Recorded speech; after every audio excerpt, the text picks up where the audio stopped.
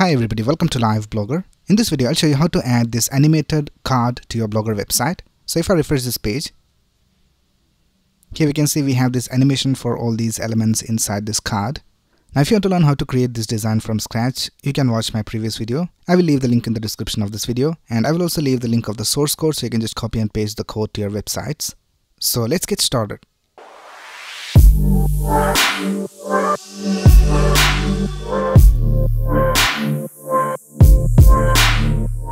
Right here I'm in the dashboard of my blogger website and uh, you can add this design into a post or a page. So if you want to add it inside a page, you can just go over here to pages and then click on new page and add the HTML, CSS and JavaScript.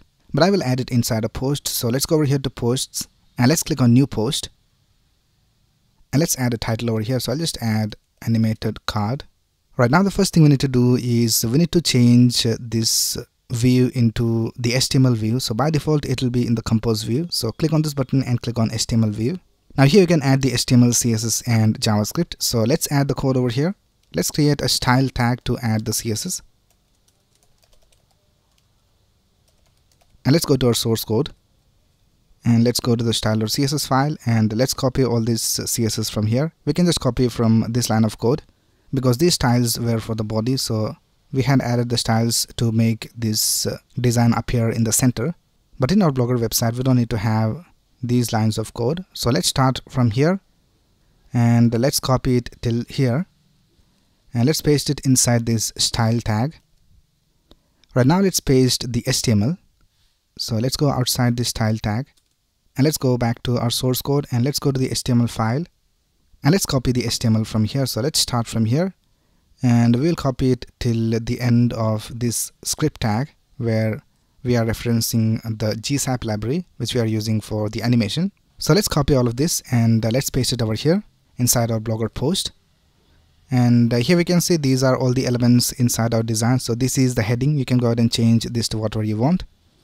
And this is the paragraph that we see over here. And then this is the button. You can change the text of the button over here and then here we can see this is the image and the source is set to images forward slash one.jpg now in our blogger website we don't have this folder called images so we have to first of all upload the image somewhere and get the link and paste it over here so I'll just upload the image over here itself so I'll just click on this button called insert image and let's click on upload from computer. And now let's click on choose files and this is the image that we need. So let's click on open. And let's select this image and click on select. And let's select the original size and click on OK. So here we can see this is the code for the image and we need to get the link of the image. So the link is inside this href attribute. So let's copy from here till the end of the link. So let's copy it till here and let's paste it over here inside this image source. Right, that's it with the link of the image. Now we can just delete this code. Right now the last thing we need to add is the JavaScript. So let's create a script tag over here. And let's go back to our source code. And uh, here in the JavaScript file we have all the code for the animation. So here we are using the GSAP library for the animation. So here we can see we are creating a GSAP timeline and in that we are adding these properties. So if we add from then uh, it will start from this property which is y negative 100 pixels and then it will go to the styles that we have over here. So here we can see for the image it goes from y negative 100 pixels to the default which is 0 and then we have this duration over here and then we have the easing. And you can go ahead and experiment with these values and adjust them to your needs. And we are doing the same for all the elements in our card. If you want to learn all of this you can watch my previous video. Right let's copy all of this from here and let's paste it over here inside the script tag. Right now let's publish this and click on confirm.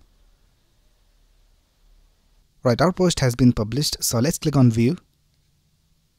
And here we can see we have the animation for all the elements inside our card. Now we can see we don't have the correct color for these text. So here we have black color. But here we don't have the black color so let's go back to our post. And let's add the black color over here so I'll just add it inside the main container. So let's tap color and set it to black. Let's update it and let's see whether it works. So let's refresh this page. And now we can see we have the black color for the text and all the animation is working alright so that's basically how you can add an animated card to your blogger website. Now if you go back to our post here we can see for the button we have an anchor tag. So you can just replace this hash with any link you want and whenever the user clicks on this get info button they'll be taken to that particular page Alright, so that's it for this video. I will leave the link of the source code in the description and if you have any doubts you can ask in the comments below. And if you like this video please click on the like button and subscribe to this channel to get the latest video updates. Thanks a lot for watching. Have a nice day.